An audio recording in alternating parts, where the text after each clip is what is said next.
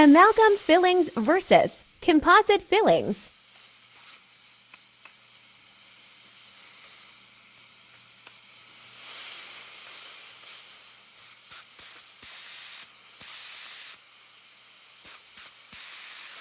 Should dental amalgam fillings be removed if your filling is in good condition and your dentist or healthcare professional says there is no decay beneath the filling? Removal of your amalgam filling is not recommended.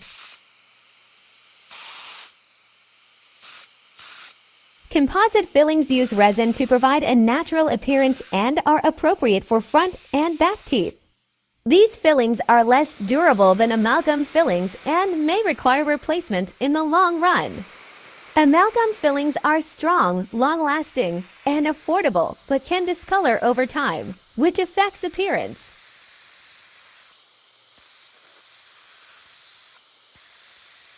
Amalgam has been used to treat cavities for about 150 years. Amalgam, often just referred to as silver fillings, have been around for a very long time and continue to be used by dentists today. This type is made of a combination of different metals including silver, tin, copper, and mercury.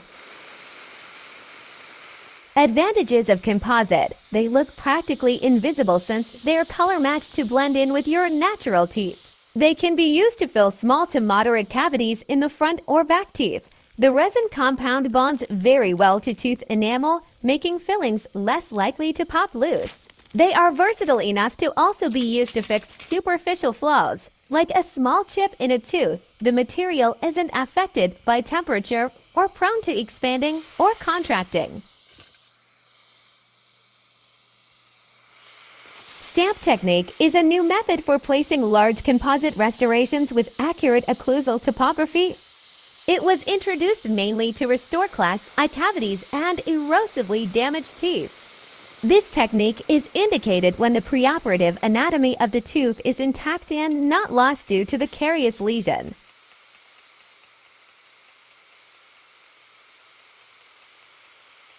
A precise tooth-like filling and accurate functional occlusion is obtained when the stamp technique is applied. However, using this technique to restore class II cavities is not established yet. Results and conclusion. Using the stamp technique to restore class II cavities is achievable, simple and practical, and results in a very accurate anatomical restoration.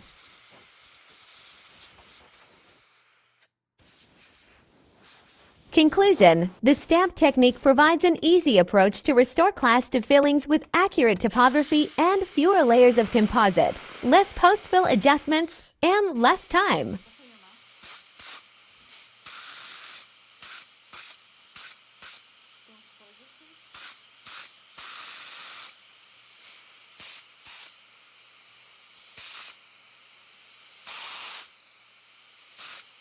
At the end, polishing and finishing with disc and enhance. Thank you for watching my videos. Please subscribe me for more interesting videos.